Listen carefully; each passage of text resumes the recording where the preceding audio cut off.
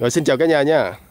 Hiện tại à, mình với là Úc Lân đang có mặt tại ấp Mỹ Trinh, xã Thiện Trung, huyện Cái Bè, tỉnh Tiền Giang để tìm hiểu hoàn cảnh khó khăn của em Điệp. Có mặt trong chuyến đi hôm nay thì có thầy chủ nhiệm của em, đây là thầy Bình.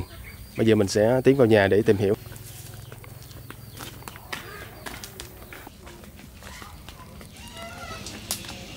Dạ em chào chị. Rồi giới thiệu với cả nhà đây là chị Phương, mẹ của bé Điệp. Dạ. Chị cho phép em bước vô trong nha, em quay sơ vòng nhà mình cái. Dạ ở đây là nhà mình à, ở đây là đất của ai chị? đất của ba cho Dạ. cái nền nhà Nhà đất của ba ruột cho cái nền nhà ha. Là bây giờ là chỉ có hai mẹ con ở đây thôi. có hai mẹ con ở đây Dạ. Ở trong đây tối quá vậy thôi mình à, để mình ra ngoài mình nói chuyện đi. dạ. Chị ngồi đi chị Thì à, theo à, em được biết á, thầy Bình cũng đã có nói hoàn cảnh khó khăn của em Điệp, cho nên là hôm nay em với lại à, Úc Lương vô đây tìm hiểu là hoàn cảnh của mình là hiện tại là công việc chính của mình là làm gì chị? Ừ, thì đi làm mướn không á làm gãy rồi người ta kêu mặn gì mặn cái đó Dạ. Vậy là công việc đó đâu ổn định ha? Có nghĩa là ai kêu thì mới làm. dạ còn làm một điều thì ở nhà cũng uh, rảnh thì mặn còn không mấy gì thì đi làm chứ mà học điều không có tiền nhiều Dạ. tối ngày không được ký lương nữa Còn em Điệp này là hiện tại là đang học lớp 5 là Dạ. Sức học tập của em là có khá không à, thầy? ờ, Về học lực á thì à, Điệp là học sinh à, thuộc loại khá Dạ. Còn về hạnh kiểm thì em nó luôn lúc nào cũng là học sinh à, chăm ngoan Dạ. à, Biết à, dân là thầy cô Dạ. à, Hiền lành à, đoàn kết giúp đỡ bạn bè Dạ. Thường ngày có đi học là sáng mẹ mẹ nấu gì cho con ăn đi học? Ăn cơm đi học ha? Ừ. cái bữa nào đi mặn cái cho nó đi ăn tiệm bữa vậy đó À, còn ở nhà thì nó ăn cơm nhà không vậy là em em không gặp ba đã từ lâu rồi hả chị? không có gặp Dạ. 11 năm rồi đó 11 năm rồi không gặp ba ha? không Từ nhà nó đi học cấp 1 tới giờ Dạ. Thì cái nhà này của mình là mình cất lâu chưa chị? cất cũng ờ, cái nhà này cất hồi năm 2016 hay gì mấy chú bắt cầu đó cho đó cho cột với đôn da này cái kia bắt ờ, cất luôn Dạ. Vậy là cái tôn này với lại mấy cây cột uh, xi măng này là mấy chú bắt cầu từ thiện ngoài kia cho gia đình mình cất lên ha. chú số mảnh chú số mảnh cho Dạ. Còn cái nền nhà thì mình chưa có khả năng lót được. Rồi chị ơi, nhà mình như thế này thì à, chính quyền họ có hỗ trợ cái sổ hộ nghèo không? cũng có được năm mấy rồi cái cất lên nhà này cái ờ, anh Minh ở trong ờ, trưởng ấp xã cái rút xuống hộ cận nghèo cái nói ủa mấy chú cho làm sao anh rút nói "Ờ, mấy chú cho nhưng mà mấy người bắt cầu là của ảnh cái Dạ. anh nói anh rút thì em mần phụ ờ, mấy ổng á cái mấy ông thấy vậy mấy ông mới đổ cột được cho cũng Dạ. như nấu cơm rồi hái rau rồi đó rồi ờ, với ờ, mấy ông cột ấy ở ngoài cầu á cũng ra cột phụ vậy đó Dạ.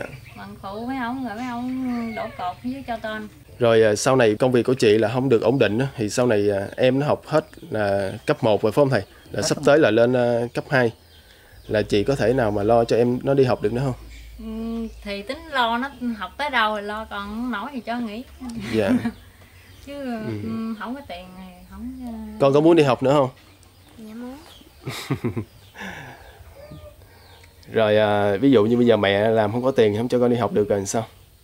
Dạ nghỉ Nghỉ ha, nghỉ ở nhà làm phụ mẹ hả gì? À, bây giờ nếu học lớp 6 thì à, em nó sẽ đi học tới chỗ nào à, thầy? Nó học ở ngoài à, chợ ông Vẽ Dạ. Gần quốc lộ 1 đó Dạ. Thì từ đây ra ngoài đó thì cũng hơi xa đó. Xa Trước khi mà mình được à, hỗ trợ cho tôn với cho sắt với cho cột cất cái nhà này chị thì mình lúc trước là mình ở cái nhà sao chị? nhà lá cột cây Nhà lá cột cây ha. Dạ. Lúc đó là mưa dột không? ừ, lúc đó là mưa cũng có dột mấy nhà dưới mưa dột Dạ. Mẹ đi làm vậy lo cho con học con thương mẹ không? Dạ không Vậy gắng học nữa lo lại cho mẹ ha. Giờ chỉ còn một cách là chị phải gắng cho em nó học để sau này ờ, có công việc ổn định rồi gia đình mình mới thoát nghèo được. Chứ bây giờ công việc của chị thì chắc chắn là không ổn định được rồi, ai kêu gì làm đó. cho học tới đâu thì cho chứ tiền học tới đâu thì học chứ không lo nổi nữa Dạ. cho nó nghỉ vậy Có nhiều ờ, hoàn cảnh á, họ có điều kiện mà họ không lo học, còn những hoàn cảnh thì thật, thật sự là khó khăn. Nhưng mà em này thì rất là chăm học. Hôm nay vô đây thì nhóm nét quê với lại thầy Bình cũng có đại diện cho anh Hùng với lại hai người bạn nữa có hỗ trợ cho gia đình chị một phần quà là một chiếc xe đạp. Úc Lưng à, đem chiếc xe đạp vô đi Úc Lưng. Rồi đây là đây là chiếc xe đạp để à, tặng cho bé Điệp. Còn đây là một phong bì trị giá là 3 triệu đồng để hỗ trợ cho chị để cho em Điệp này có khả năng là đi học tiếp. Trước mắt thì giúp đỡ cho em nó à, giữa năm lớp 5 với lại ờ, đầu năm lớp 6 để cho em có điều kiện là mua tập vở, quần áo với lại phương tiện đi học. em cũng cảm ơn anh Hùng cho phần quà cho cháu đi học chiếc xe với tiền ừ, để cháu đi học Dạ. con cảm ơn chú Hùng Còn còn đây là ba của chị Phương. Dạ bác là thứ mấy bác? thứ ba Dạ. Tôi cũng không có ruộng không có đất nhiều nên dạ có nhiều rồi cho có cái nền nhà mà hôm gọi bắt tôi đi tới huyện phải đi tới huyện mà cái hồ sơ ấy à, chú Ừ, mấy ông biểu xuống dưới mà cái hồ sơ mà để cho là nó cái nền nhà đó tôi là giờ nó thiệt mấy ông bây giờ tôi có một cái mà mấy à, có con tôi mà nếu tôi không cho nó giờ nó ở đâu Dạ. không lẽ nó xuống sông nó ở Thì cái đó chắc là có lẽ là thủ tục nó hơi gườm gà ha. thì chắc là cái bằng quán Dạ. Con lên xe thử cái dừa không? Đẹp. Đâu con lên xe con ngồi thử coi.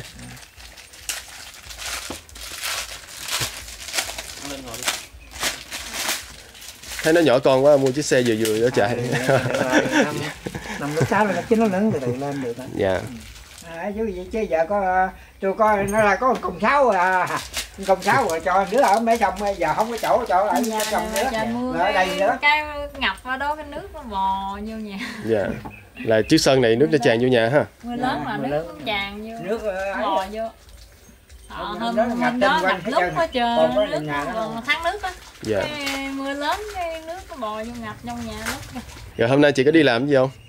tính đi làm ờ, ở đi trồng bắp cho người ta dưới kia Dạ. Mình làm như vậy thì ờ, chi phí một ngày người ta trả cho mình nhiêu chị? ngày trăm rưỡi Một ngày một trăm rưỡi là làm từ mấy giờ tới mấy giờ chị?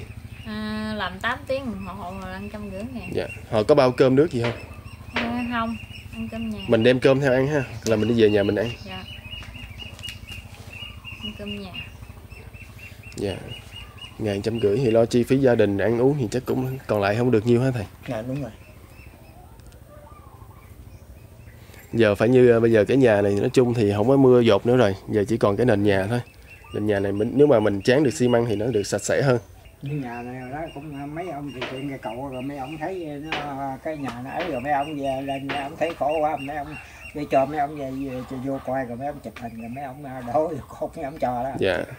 Chứ chính quyền thì ờ, chưa giúp đỡ được gì Chưa. ha. Dạ. cái này của bên thiện của Phật giáo hảo á Dạ. xin ờ, xin thêm mấy ờ, ông trưởng ấp trong xin thêm trưởng ấp trong xã cái nền nhà không cho mà ừ, cứ là à, cho như là ba cứng và cứng rồi đó không ba cứng cái chỗ nào mà nói ba cứng cái nền nhà chưa có mà là ba cứng Dạ. Còn phía ngoài kia là cái sàn nước của mình ha. Đèn nước xài nước nó đó Đơn giản quá. sáng sáng à, hôm qua nói cúp nước rồi giờ xách nước xong xài không. Dạ, nước xong thì chị cũng phải ờ, lóng phèn lại nha để mà sử dụng cho nó sạch sẽ chút xíu. Ừ, không có cái lưu bự rồi giờ xách thao vậy đó để xài Dạ. nó có bầu hồi mang ba thai hai tháng mấy rồi mà rồi nó về à, trên này nó ở rồi nó sinh để trên này nuôi lấy họ mẹ luôn á chứ Dạ. rồi cha nó bỏ luôn tới giờ không, không có lên Dạ. Vậy là ông cũng lo cho chị với cháu từ đó giờ ha. Ông năm nay nhiêu tuổi rồi ông? bảy mươi chín tuổi 79 rồi ha. Thôi không có gì phải xúc động hết chứ. còn có mấy tháng nữa là cũng 80 rồi dạ. À, con cũng ờ, chúc ông được nhiều sức khỏe nha. Rồi riêng chị thì ờ, hôm nay cũng có thầy Bình đi vô thì cũng cảm ơn thầy Bình. Thì cũng chúc chị cố gắng có nhiều sức khỏe để lo để mà làm để nuôi cho bé Điệp nó học tới nơi tới chốn. Dạ À, thay mặt cho nhà trường cũng à, xin gửi lời cảm ơn sâu sắc đến à, anh Hùng. À, rất mong à, anh được à, luôn luôn được nhiều sức khỏe để còn tiếp tục làm được những cái công việc thiện nguyện như thế này. Dạ. À, xin chào anh. Dạ, rồi cảm ơn thầy nhiều. rồi chào gia đình nha. Vậy là sắp có xe đạp mới đi học rồi đó. Thầy dạy nha. bây giờ khỏe anh hổ Dạ.